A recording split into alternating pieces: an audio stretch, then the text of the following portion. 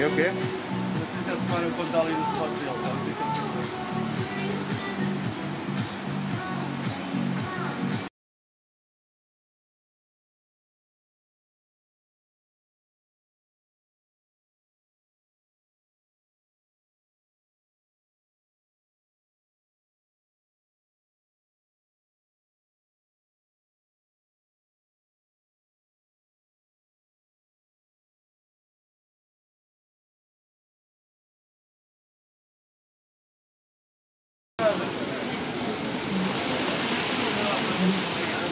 água, por favor.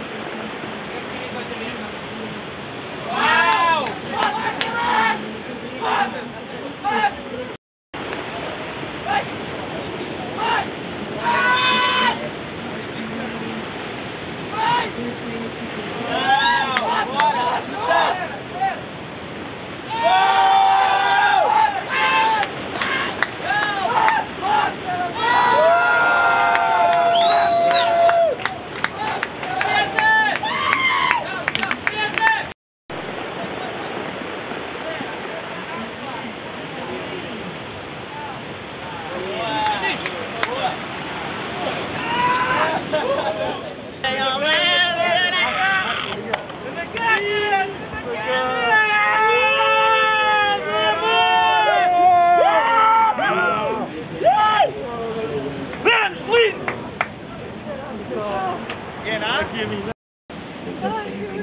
primera ola de blanco, 0,57. Whenever you guys are ready, we can do the interview.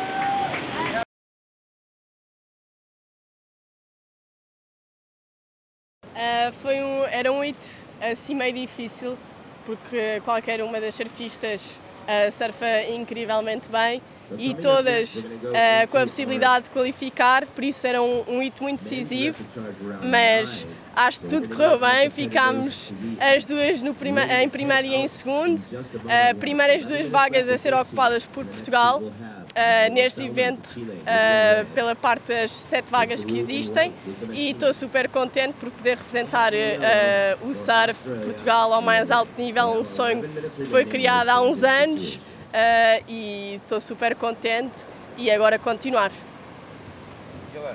Um, é quase tudo o que a Teresa disse. Tipo, eu estou tão feliz de, de ter passado este hit. Como ela disse, era um hit muito difícil. Qualquer uma de nós, se passasse o hit, ia qualificar. E epá, Portugal está forte e estamos aqui juntos. E acho que foi o trabalho da equipa que chegou lá.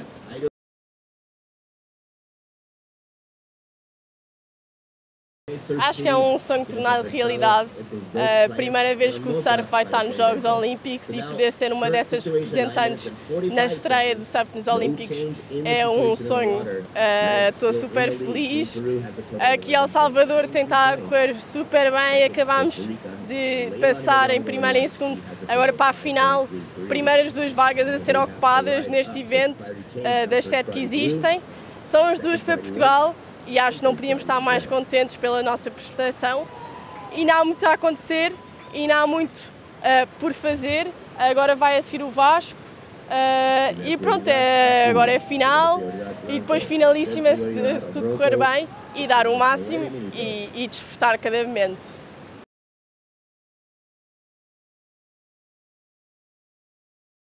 Nem, nem me passava por a cabeça há uns anos atrás. É, é um sonho que que é um bocado novo. Uh, eu cheguei aqui à competição, não estava a tentar focar demasiado nisso, uh, mas a seguir do não foi este hito anterior, começou a vir eh, um bocado da pressão de qualificar e eu um, estava a tentar acalmar esses nervos e tentar demonstrar o meu surf. Acho que estava a surfar bem, não estava a conseguir acabar as, as, as ondas, mas estou muito agradecida por, por toda a gente que apoia e não, não podia pedir mais do que representar Portugal nos Jogos Olímpicos. É para ganhar, pá! Isto não, não estamos aqui a brincadeiras. Agora a pressão de qualificar para os Olímpicos já acabou, agora é para ganhar o campeonato.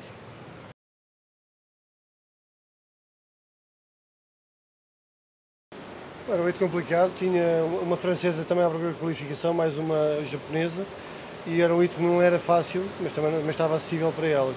Elas começaram a Irlanda bastante bem, a Teresa um bocadinho mais, mais atrasada, mas logo recuperou e no fundo foi o corolário de um campeonato que, que ainda está a decorrer, em que o nosso objetivo é chegar às finais e vencer as finais e elas estão em prova e conseguiram se qualificar, que é um momento histórico para Portugal, representa um trabalho de nove, nove anos desta direção, desta federação, em que sempre acreditamos que era possível, sempre pensámos que iríamos chegar aos Jogos Olímpicos e que iríamos qualificar atletas.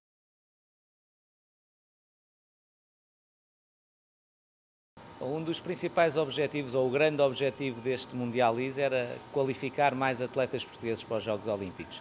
Já tínhamos o Frederico pré-qualificado, veio a confirmar-se aqui a sua qualificação oficial e o facto de termos conseguido colocar a Teresa e a Holanda uh, também nos Jogos Olímpicos é um feito gigante para o nosso desporto. É, na primeira aparição, na, na primeira vez que o surf vai aos Jogos Olímpicos, em quatro vagas possíveis conseguirmos levar três atletas é realmente um feito gigante. Bom, neste momento que, que temos a qualificação da Teresa e da Holanda garantidas, amanhã que vai ser o último dia de campeonato, o grande objetivo é colocar as duas na, na grande final e que as duas que possam lutar pela medalha de ouro e pela medalha de prata, que isso aí era terminar então esta semana de trabalho da melhor forma possível Uh, contudo, independentemente daquilo que venha a acontecer amanhã, acho que a prestação da equipa portuguesa aqui em El Salvador foi, foi muito boa, tivemos num nível altíssimo, tivemos mesmo momentos eh, excelentes, por isso não podia também estar mais orgulhoso de toda a equipa.